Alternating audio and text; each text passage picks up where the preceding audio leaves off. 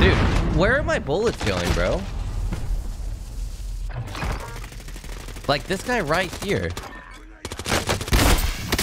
Like, bro, I literally just fucking missed like six bullets on him. What was that?